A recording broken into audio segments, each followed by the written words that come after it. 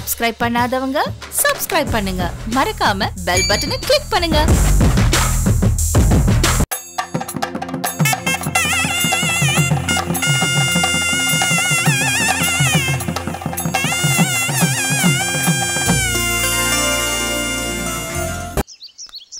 ஏமாப்ல இந்த வீட்டுக்கு திருட வந்தான் திருட வந்தான்னு சொல்றியே. அவன் என்ன திருட வந்திருப்பான்? ரெண்டு பழைய நாதஸ்வரம் தான் இருக்கு. அதுவும் செவுத்துல தொங்கிட்டு இருக்கு. அவருவாள் அது திருட வந்திருப்பானோ? ஆமா. இந்த சாமி. வணக்கம் சாமி. வாங்க வாங்க. வா பிரசாத். வணக்கம் சாமி. வணக்கம் சாமி. வா நீ அமோகமா இருக்கணும். உன்னை வச்சு நானும் அமோகமா இருக்கணும். உங்களை வச்சு தான் நாங்களும் அமோகமா இருக்கணும். என்னது? நம்மளே மாதிரி நினைக்கிறாங்க? மாமா கொஞ்சம் சும்மா இருக்கீங்களா? இப்ப உடம்பு எப்படி இருக்கு சாமி? பரவாயில்லையா? என்னத்த? அப்படியே தான் இருக்கு. நல்லா ஆறிட்டு வந்துச்சு. மறுபடியும் புண்ணாக்கிட்டான். யார் சாமி? சரத்தா. யாரு? சாத்தா சாத்தா. முத்தாத்தா புண்ணியத்துல தப்பிச்சது பெரும்பாலா போச்சு. ஆமா என்ன விஷயமா வந்த பிரசாத் வீட்டுக்குள்ள ராத்திரி திருட வந்துட்டானா? அப்பா ஃபோன் பண்ணி சொன்னாரு. அதான் என்ன ஏதுன்னு விசாரிச்சுட்டு போலான்னு வந்தேன். பிரசாத் நேத்து வந்த திருடு ஏன் பரிசல் அடிச்சிட்டு போயிட்டான்? என்னது உங்க பர்ச திருடிட்டு போயிட்டானா? ஏன் சாமி? எவன் வேணாலும் வந்து அடிச்சு போங்கடா நீ பாட்டு பேசாம இருப்பீங்களா? அவன் பரிசு அடிக்கும் போது நீங்க என்ன பண்ணிட்டு இருந்தீங்க? புண்ணு ஆடுறதுக்கு மாத்திரை போட்டேன். அசந்து தூங்கிட்டேன்.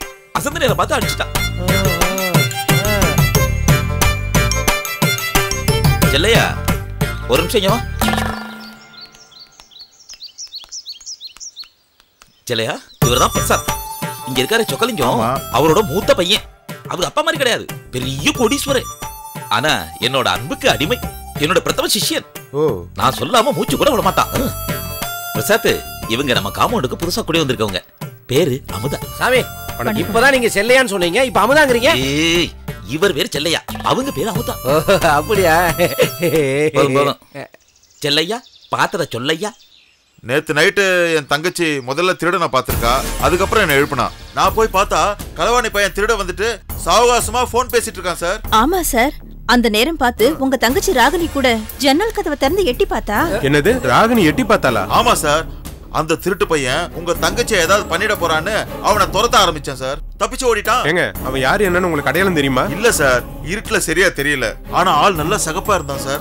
திருட மாதிரியே இல்ல. நல்ல வேலை சார். ஓடிட்டான். இல்லனா உங்க தங்கச்சி தலை நீட்டின நேரத்துக்கு கழுத்துல இருந்தத அறுத்துட்டு ஓடி இருப்பான் சார். செல்லையா நீ வாட்டுக்கு நல்ல வேலைன்னு சொல்லிட்டு இருக்க?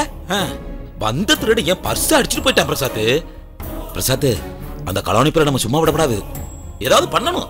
போலீஸ்ல சொல்லி நடவடிக்கை எடுக்க சொல்லணும்ன்றேன். கண்டிப்பா செய்யறேன் சாமி. இவ்வளவு தூரம் ஒருத்தன் தைரியமா செவரேறி குதிச்சு உள்ள வரானா அவனை சும்மா விட்டுருவனா? நான் பாத்துக்கிறேன் சாமி. முதல்ல நான் உள்ள போய் என்ன ஏதுன்னு விசாரிச்சுட்டு வந்துடுறேன். மாமா என் கூட வாங்க.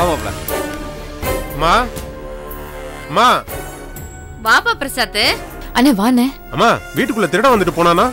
ஆமாப்பா. என்னம்மா சர்வ சாதாரணமா ஆமா பாங்குறீங்க போலீஸ்ல கம்ப்ளைண்ட் கொடுக்க வேண்டியதானே இல்லப்பா அவன் தான் எதையுமே திருடலையே. அதுக்காக அப்படியே விட்டுற முடியுமா?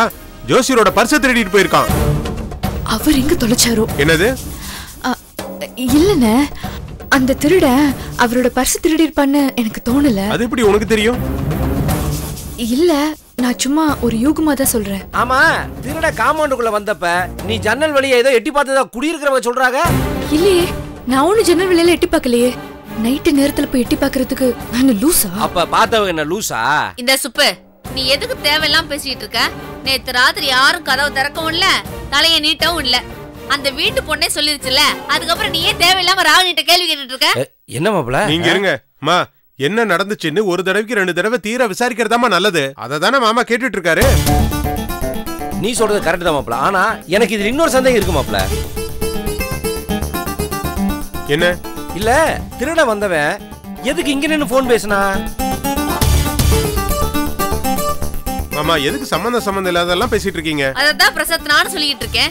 அட என்ன மாப்பிள நீ? உங்க அம்மா தான் ஒண்ணும் தெரியாம பேசிட்டு இருக்கனா நீ அதுக்கு ஆமா சாமி போட்டுருக்க ஏன் மாப்பிள ஒருத்தன் ஒரு வீட்டுக்குள்ள திருட வந்தானா திருட்டு பொருள்லாம் எடுத்துட்டு ஓட பாப்பானா இல்ல சாவகாசமா நின்னு போன் பேசிட்டு இருப்பானா அதை சொல்லி பாப்போம் முதல்ல. திருட இல்லைன்னா அப்ப வேற யாருன்னு சொல்றீங்க? யாருக்கு மாப்பிள தெரியும்? ஒருவேளை உன் தங்கச்சி ராகுலோட முத புடிச்ச ராஜேஷா கூட இருக்கலாம்ல?